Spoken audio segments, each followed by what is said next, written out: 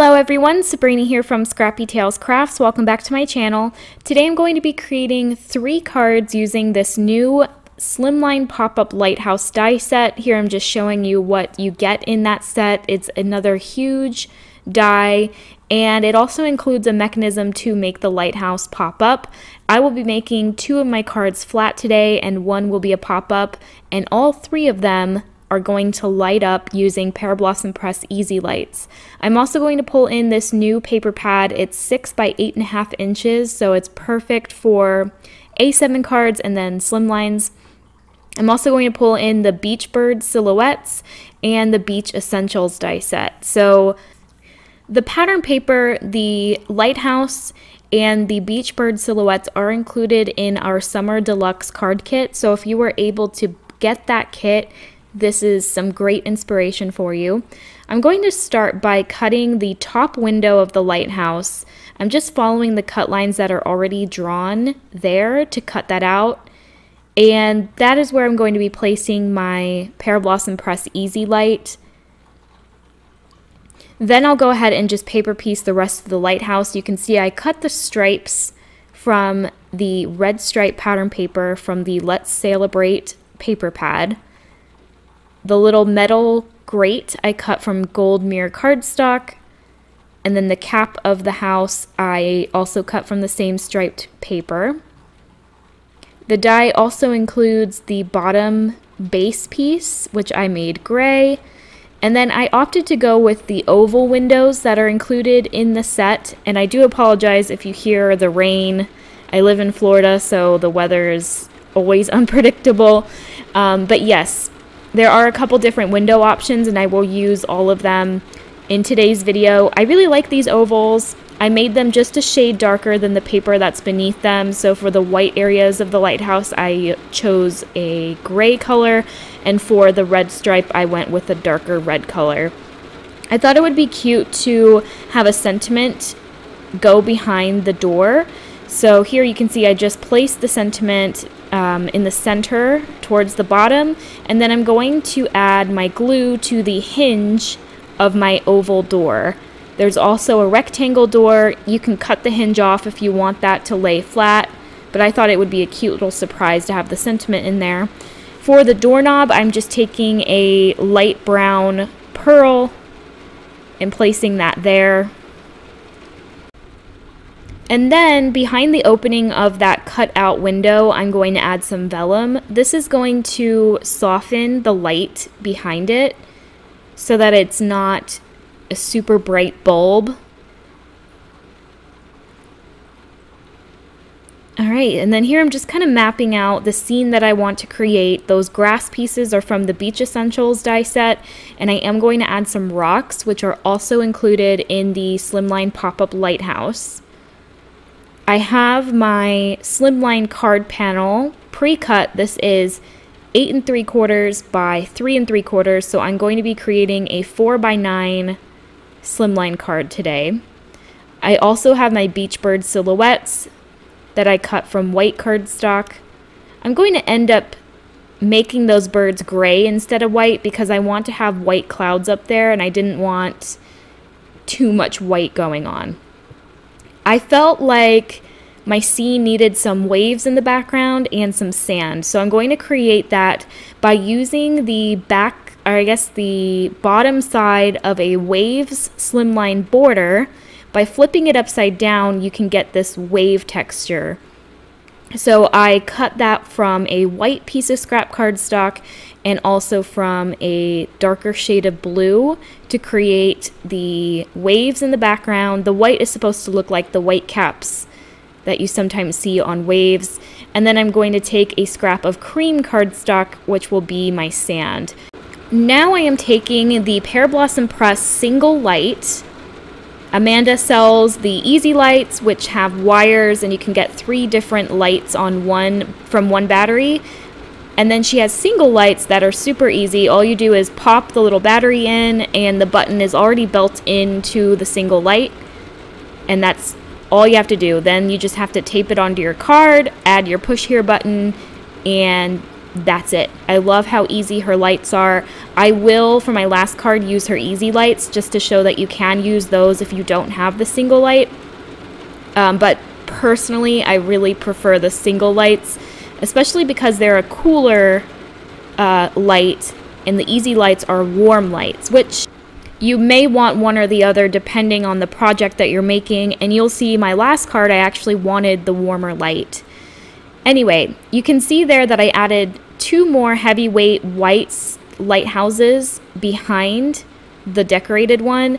That is to create some distance from the vellum to the light.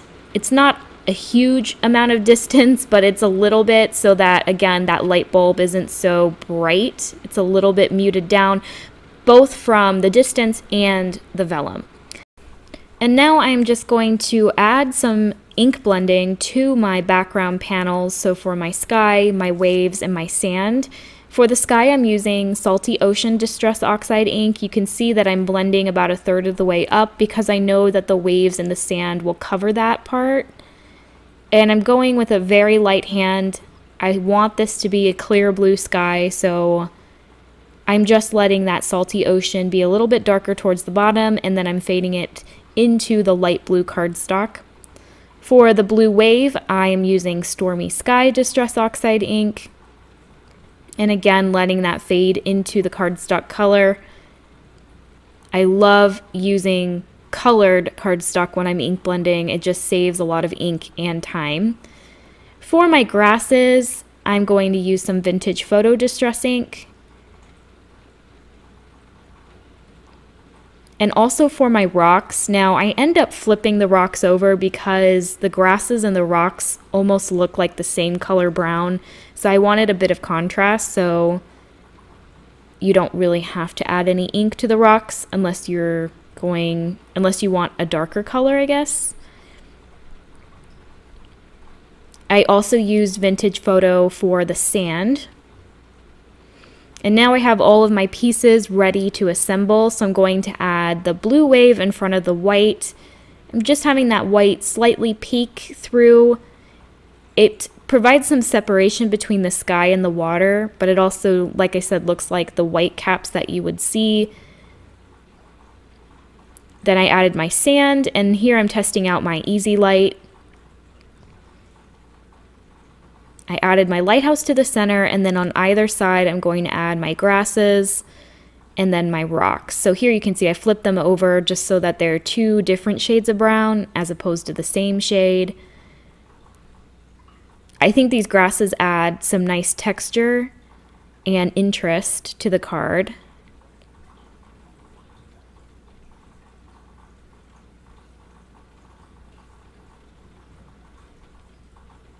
All right, so I am going to trim off the overhanging grass.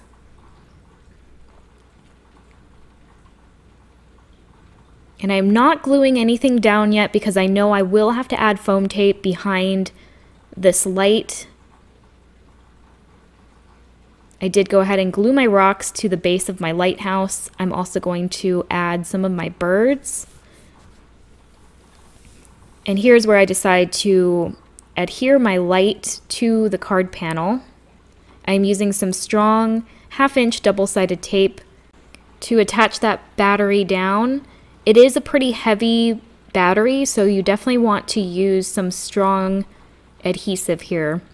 You can see I lined up the light behind the opening of my lighthouse and then I hovered the lighthouse over the card panel so that I knew where to tape down the battery.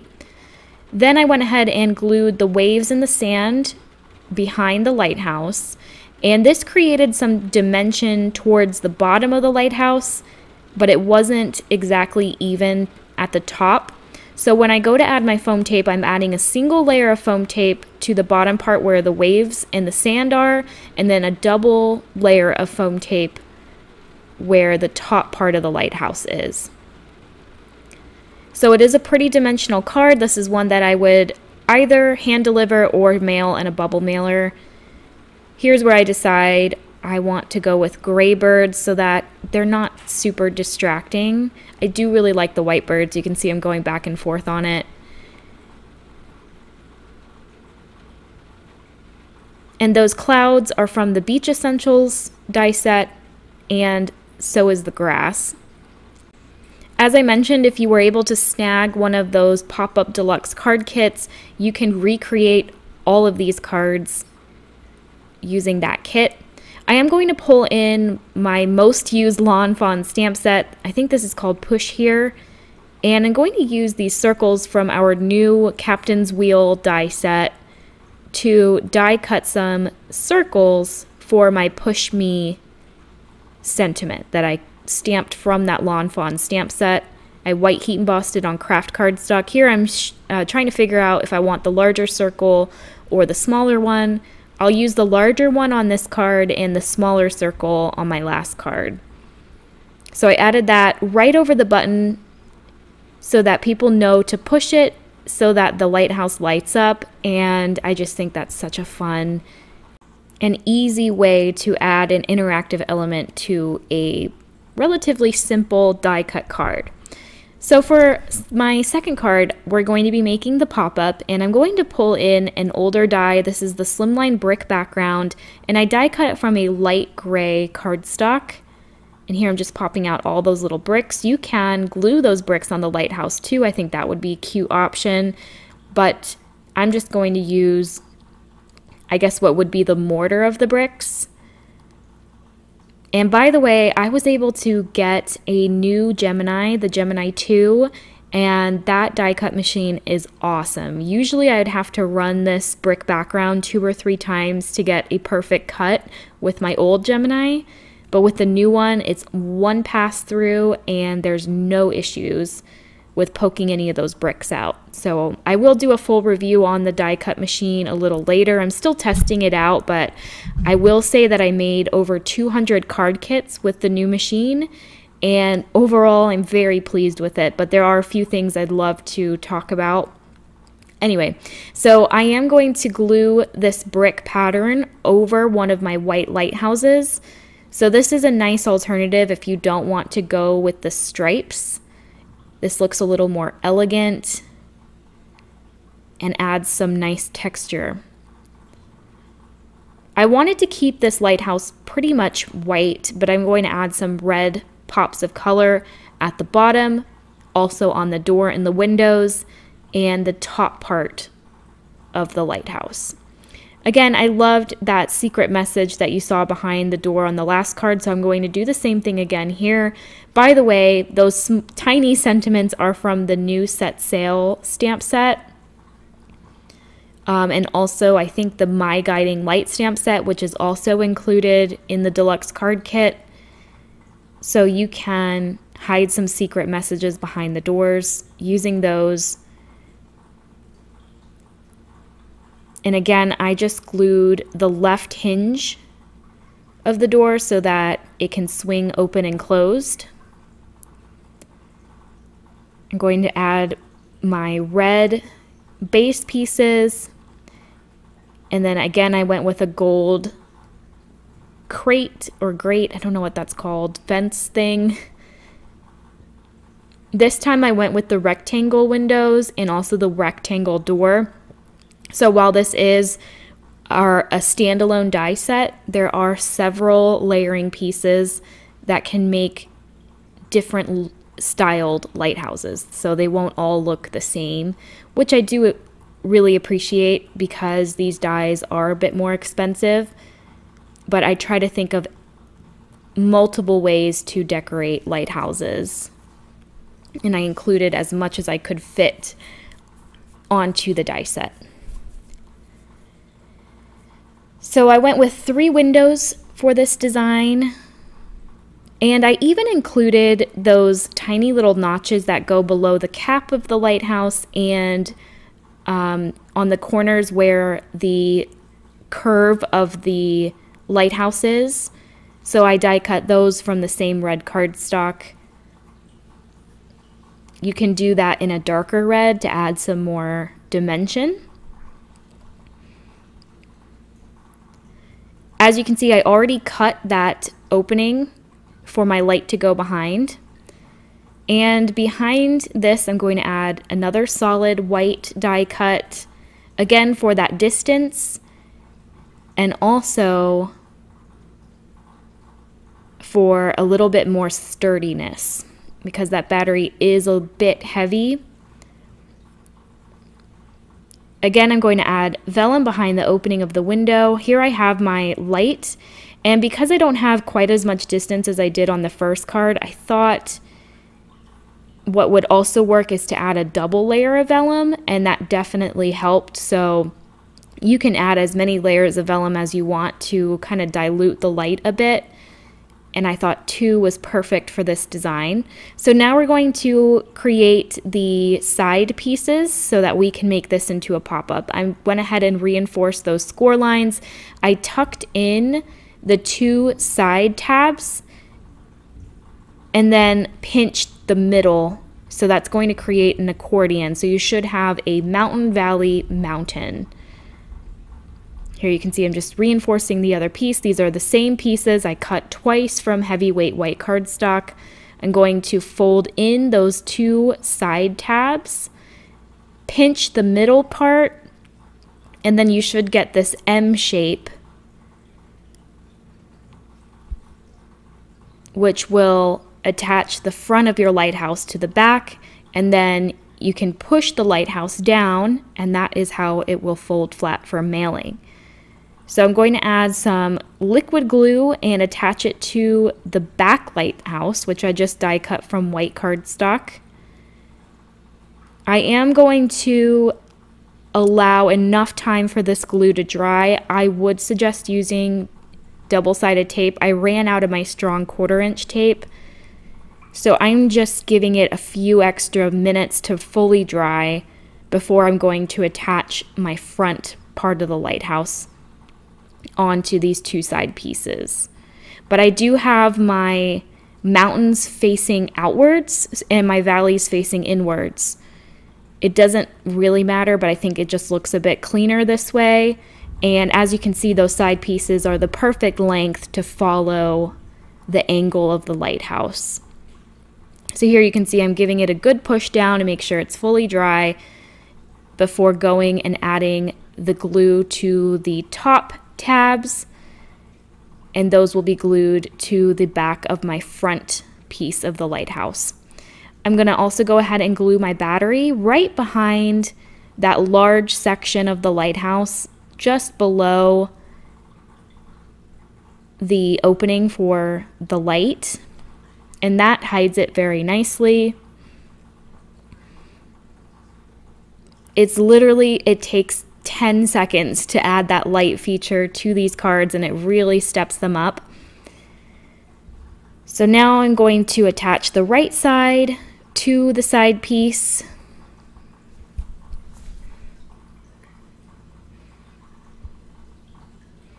Again, I'm just making sure that's nicely adhered before I'll glue the left side to my side piece.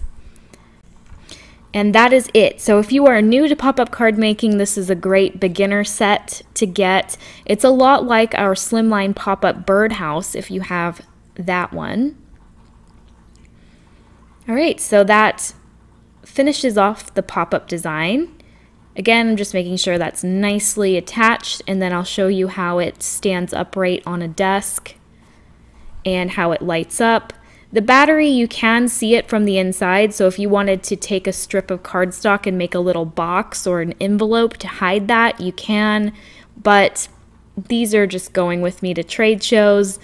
I will be showing people at my booth how they light up, so I don't really bother to hide it, but I have shown that in previous videos. So you can see I added the push me button. I gold heat embossed it on white cardstock. I used the same little circle from the captain's wheel to cut that out. Any circle die would work here. I think a heart would also be cute. Then I have my bird silhouettes, which I cut from gold cardstock this time. And I just scattered those here and there on the card. I love that those silhouettes have some flying birds and some standing birds. So I added the crane and the, I guess, sandpiper type birds to the bottom part of the lighthouse where the rocks are. And then I added the flying birds towards the top. I thought I would use that piece that I cut off the base where the opening of the light is. I thought it would be fun to, again, follow the lines that are drawn into this opening to cut out these little lines, glue it back into place, and just have that bit of detail. You can still see the light shining through it, but it looks more like a lighthouse with those, I guess, notches cut inside the window. So I like both versions. It wasn't until I saw the piece laying on my desk, I was like, hmm, I wonder what that would look like. And I'm really happy with that. So I'm going to do the same thing for my final card. Again, here I'm cutting out that top window. I'll save that for later, then I'll cut the notches out of it so that you can see the stripes and see the light through those. I'm also going to do those, uh, cut that off for my layering pieces. This time I'm only going to glue one lighthouse or one white die cut behind my dark gray lighthouse. I'm going to save the other two so that I can use it almost like foam tape to uh, raise up my lighthouse for my light. So again, I chose the blue stripe pattern paper this time from the same Let's Celebrate pattern paper.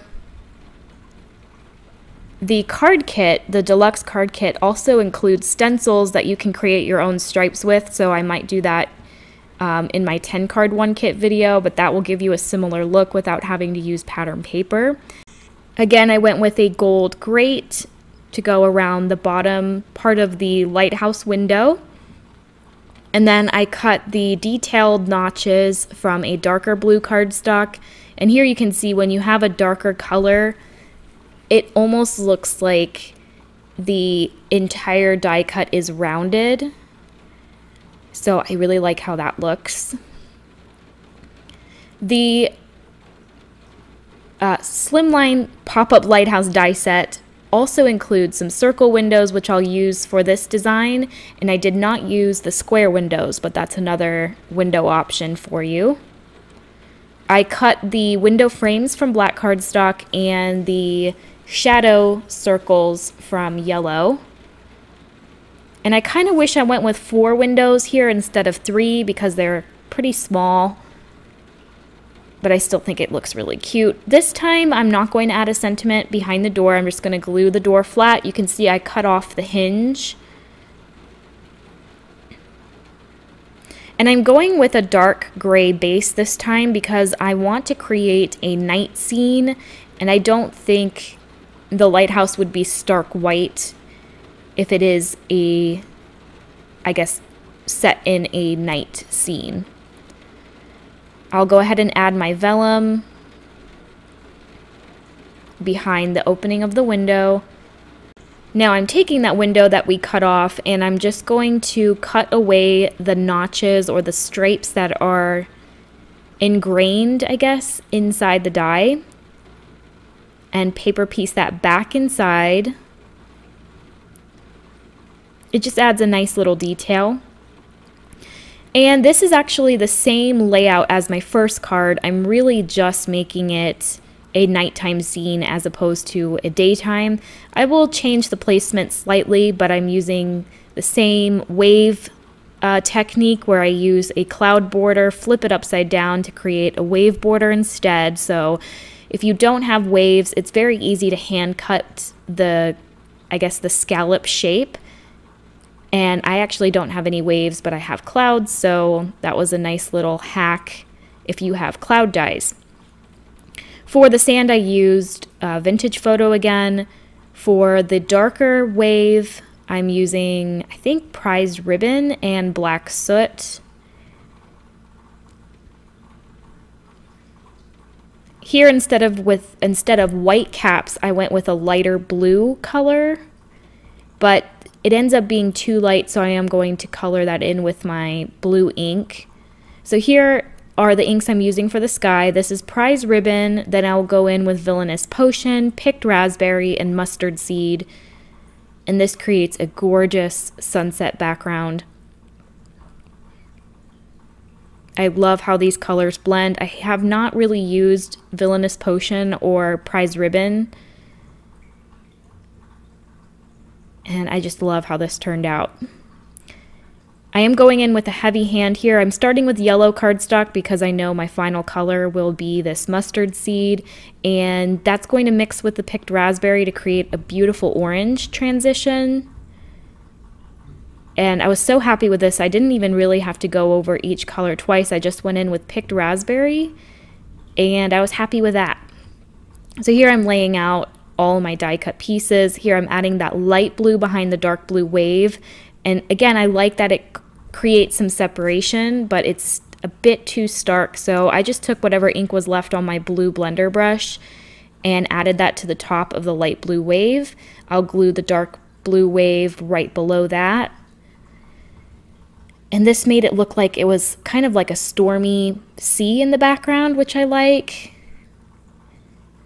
And blue lighthouses, I believe, are lighthouses that indicate rougher seas. So each color uh, represents something different about the lighthouse or about the area. So I thought that was really interesting. I wanted to go with a more of a silhouette vibe with the grass and the rocks, so I die cut those from black cardstock. And here you can see I moved the lighthouse to the left side and I'm just going to use one grass instead of two. I thought about using black birds, but I thought it would be fun to um, use the silver from the metal grate on the lighthouse and add that to the bottom with a silver crane. And then I will add blackbird silhouettes to the top where the sunset is. I'm picking out a sentiment and I went with You're in my thoughts and prayers. I thought that this was a gorgeous, serene, peaceful scene that would work well for a sympathy design.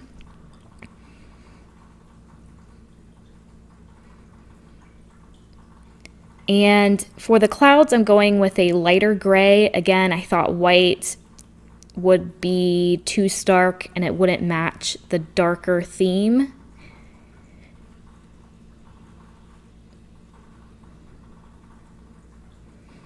And I will have a 10 card one kit video for the new card kit and the deluxe kit.